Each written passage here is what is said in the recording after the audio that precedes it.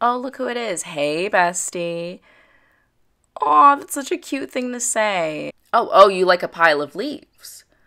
Oh, we'll get you your pile of leaves, bestie. You can trust me on that one. if there's one thing I'm good for, it's definitely that. hey, besties. It's Noot back again with another normal Animal Crossing speed build, but uh, I'm doing Beau's house today. Isn't that exciting? My best friend Beau, he's finally getting a little house makeover. If you missed my last maybe speed build on my island, my last speed build on my island, uh, I finished doing the lake area around Beau's house. It's very cute, very stunning. Uh, but today we're doing a little, another little uh, sneaky Ghibli inspired build. Uh, I know how much you all love those. Melba build absolutely ate the algorithm up, besties. Okay, uh, look at how cute he is. Beau and I are best friends now. For those of you who don't know, if you've been following our beef, uh, we've been best friends for a minute ever since he hosted my birthday party. Uh, but yeah, today we're giving him a house inspired by Ursula's cabin from Kiki's Delivery Service and their Kiki's Delivery Service build because I'm addicted to that apparently. Uh, we didn't actually edit that much of his exterior because uh, it's already perfect. You know, I have no notes. I think I changed the door and that was it. Like, stunning. It's gorgeous. Anyways, uh, that was the inspiration. I'll throw up a couple of pictures here. it was a very loose inspiration. It was more of a Melba build and less of a Kiki build, if you if you get what I'm saying. Uh, also, his original house, honestly, kind of a serve. Like a lot of those original villager houses were a little bit crusty, um, but this one's kind of cute. I love the meadow uh, theme we have going on, and we did keep the radio, and that was it. no fun to Beau. Um, I thought about using the metal wallpaper, but I ended up using a different wallpaper to do like a like a window detail. It was this this beautiful, stunning, gorgeous forest wallpaper. But yeah, I I didn't do like a direct inspiration, but I really liked the vibes of Ursula's cabin. You know, so we have some of some of the objects. We have the lantern, we have the little bottles, we have her table where she keeps her art supplies, we have the sloppy bed, obviously.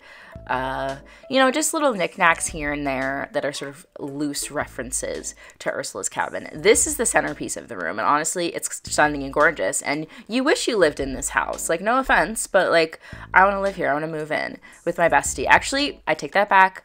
I love Beau a lot, but there is uh, a roach in this house. I thought that that was appropriate for him as uh, he talks about the bugs on the floor all the time. So, you know, why not make it official? Speaking of making things official, while we're working on his little kitchen over here in the corner, let's talk about the drama, okay? There's been, mm, how do I put this? There's been an incident the other night, I was innocently visiting Coco's house, you know, to hang out and take some pictures. It's a very cute house. I did a speed build of it, link in the card or whatever. Anyways, I was visiting Coco's house, and when I walked in, Vesties, let me tell you, my jaw dropped. You would never guess who was in there with her.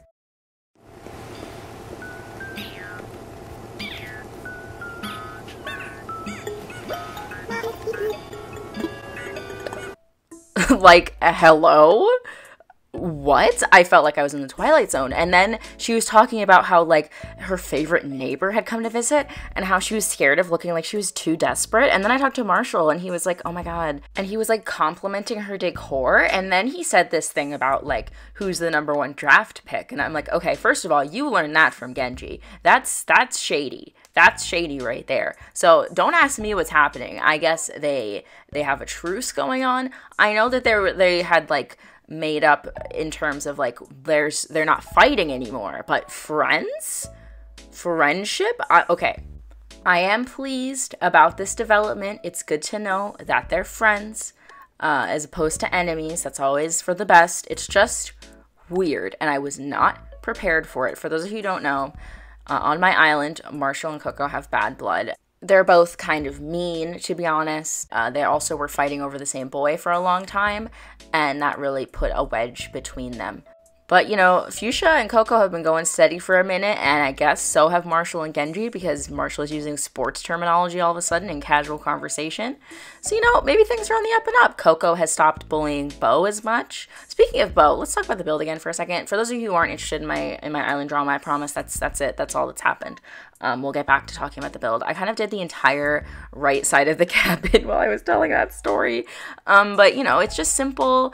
Uh, I wanted to have the sloppy sink, obviously, because we're sticking with the art theme. Now, I was kind of troubled about this. Of whether or not to make Beau into an artist because Beau is kind of dumb. Not that artists are smart. Um, I know a lot of artists, I have a lot of artist friends, and uh, like myself, they are also dumb. Uh, but Beau is like particularly dumb.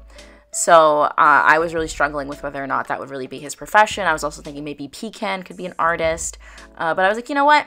I'm going to stick with it. You know, maybe he's some sort of prodigy and uh, he's an incredible painter, but he's got bugs in the floor and he doesn't know how to read. And I think that that really suits his personality. And I would know because he's my best friend and I love him. Uh, but yeah, this corner, as you can see with the thumbnail, uh, she kind of ate. Uh, I obviously, this is one of the more heavily uh, referential areas of the house. We also have in the top uh, right, we have the wood burning stove, which is also a feature of Ursula's cabin. Uh, I did go on HBO and, and open the movie and, and take reference pictures of, of what the cabin looks like just to see like the clutter and the objects. She also has a really similar hanging shelf where she keeps her pots and pans, which I thought was really cute.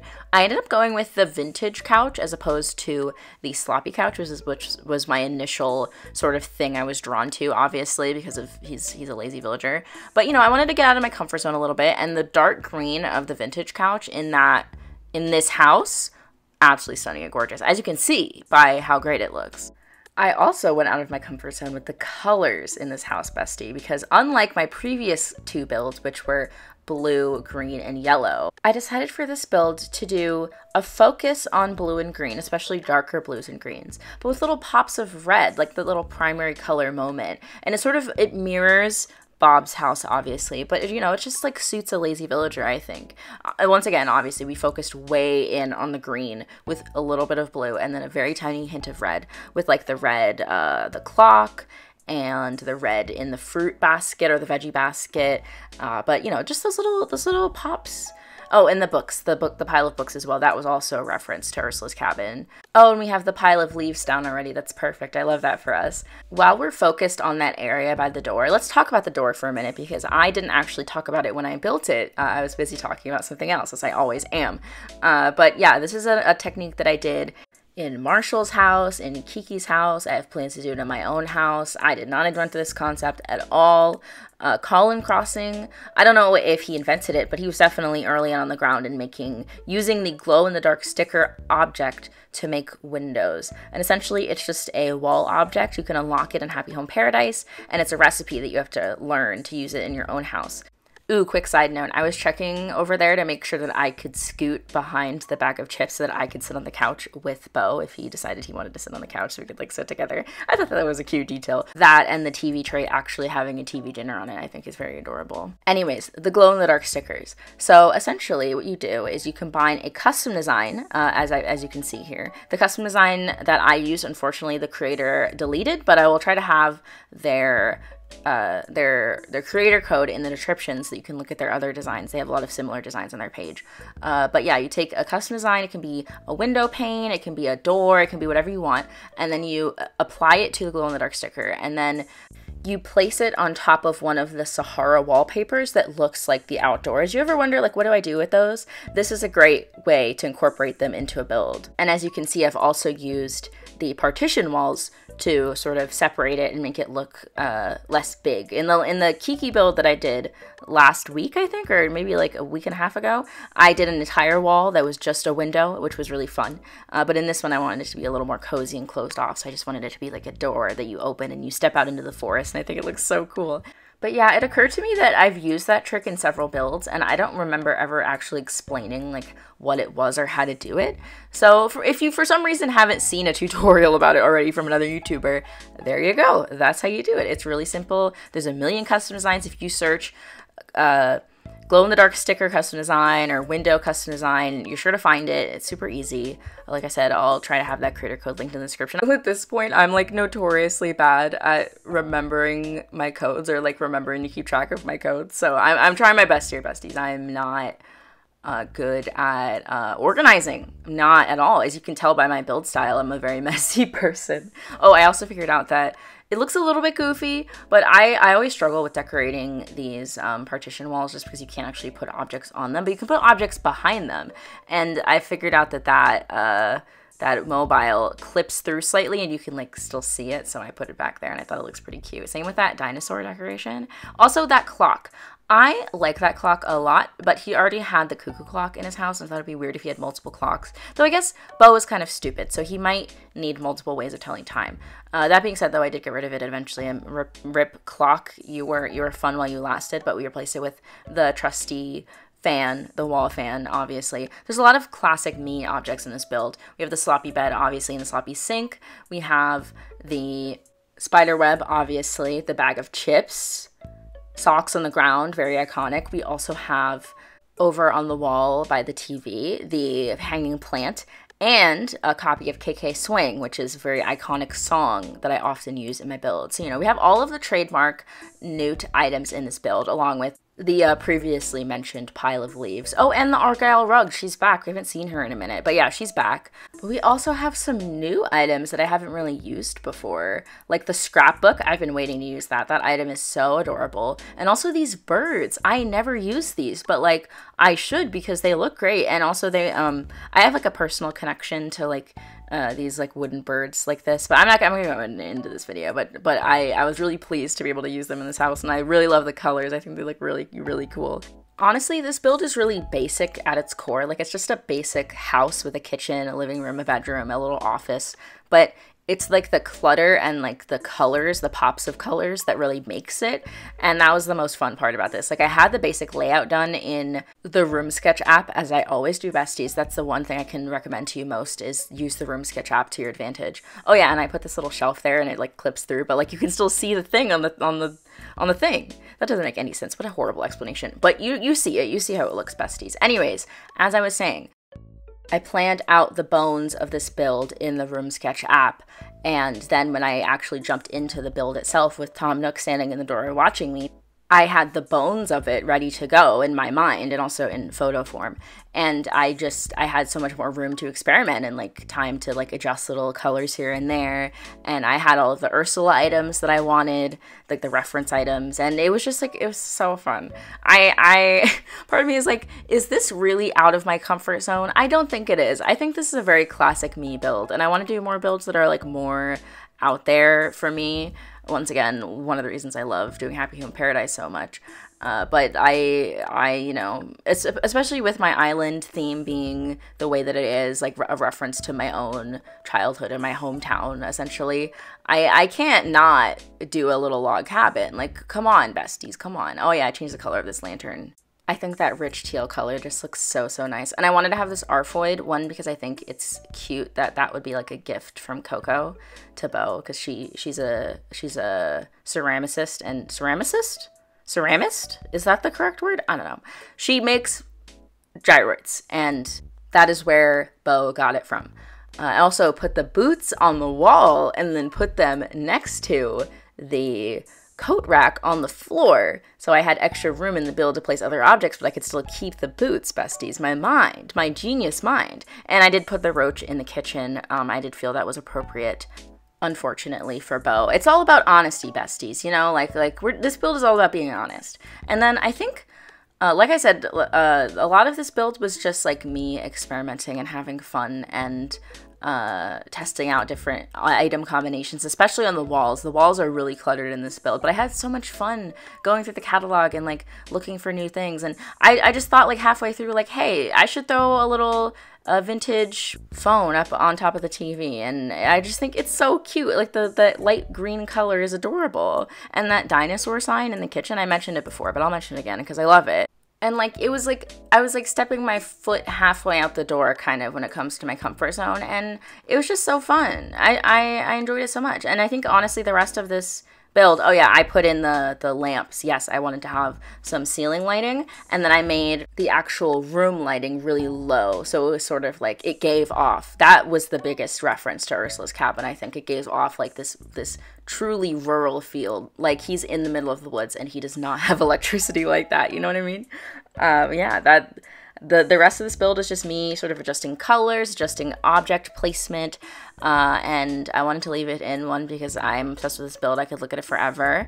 Uh, two, I wanted to show you guys a little bit of my process, how I think about things when I'm building, uh, to give you guys an idea of of how long it takes me to figure stuff out, uh, and also you know to pad out the videos time a little bit, you know get that watch time in besties, but also because I like hanging out and talking. I love talking. if you hadn't already figured that out already by uh, minute 15 of this video. Uh, oh yeah, I was experimenting with which color to use for this. I ended up going with white because it matches the white in the blanket on the bed, my mind. Ooh, speaking of how much I love talking, um, I got to stream City Folk this weekend. And you know, we had our technical difficulties, besties, with the Wii remote, but despite that, I had the absolute best time with y'all. That was just an absolute blast. And the villager lineup in in our town in City Folk. Look at our our villagers. We have Maelle, we have Antonio, we have Daisy. I love Daisy. We have Chester and Peanut. And Bud. My dad is here. My dad. Shout out to my dad. Absolutely crazy. Absolutely crazy. So if you're watching this today that it comes out, I'm streaming City Folk again uh, tomorrow on Thursday. Be on the lookout for that, besties. Keep notifications on. Also check out Discord, link in the description. If you're 16 or over, you can come hang out. I make a post on Discord every time that I go live. That's why I mentioned it, if, in case notifications aren't working for you. Uh, but yeah, I'm gonna I'm gonna play more of that this week. I also want to play a little Kirby on the channel at some point, probably this weekend. So be on the lookout for that too, besties. Uh, game of the year incoming, Kirby in the Forgotten Land. Just saying, besties. If you know, you know. So you know, get into it. Uh, but yeah, I was uh, here. I am adjusting the lighting, like I said earlier. Uh, I wanted to add a sconce to the kitchen just to make it more uh, more realistic you can actually see in your kitchen, especially when I turn the lights down like really, really low. You could not see in the kitchen at all. I was like, okay, I need to do something to fix this. So we have our trusty, dusty little sconce over there. And then I did something I don't normally do. I used the, the candle. See, that is me pushing myself out of my comfort zone, besties. Last time I used that was in the Hannibal build, which was literally a, year and a half ago. So look at me experimenting. But yeah, I used the candle above the bed, mostly because the sconce was like too far out from the wall and it like distracted from the hat hat. That's also an Ursula reference. Obviously, the hat is a pretty obvious reference, I guess. But yeah, I just felt like it made sense. Like, you know, you have the little candle above the bed and you light it and you like read your little book. Not that Beau knows how to read, as we've discussed, but you know, neither does Kirby. And Kirby is really powerful and he's the hero of Planet Popstar and he's a great friend. And Beau's a great friend too. So I think I think it all works out. Something interesting that I changed from the original version uh, was the the window area. I had a light fixture there. It had that like bar with the spotlights and it looked really good.